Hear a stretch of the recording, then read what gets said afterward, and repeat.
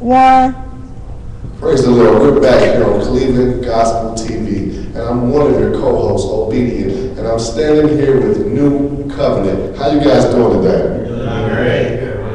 So how did you guys come up with the name Nu Covenant? Well, Nu Covenant is a new promise, a promise to God that we will keep, you know, singing for Him and using our gifts for the Lord. So how, how long have you guys been together as a group? Been together for five years, but we all are family.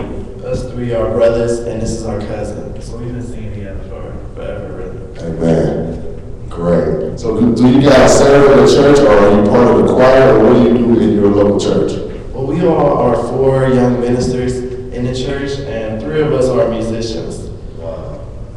So the Lord uses that gift for His glory, right? Yes. That's what it's all about. Have you guys done any uh, big events or how many, you know, anything like that, like uh, Bobby Jones Gospel or anything of that sort?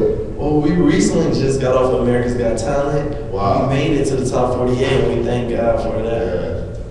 That's great. So you guys love doing what you're doing for the Lord, right? We love it, man. Okay, now who's the youngest out of the group here? 'Cause it, just ask me, he would look like the youngest one.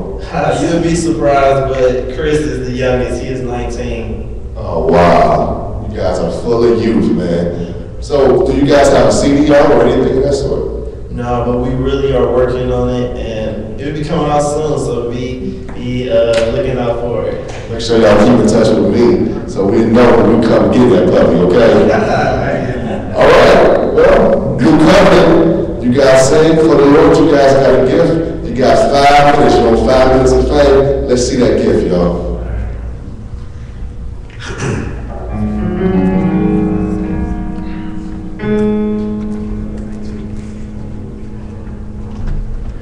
We are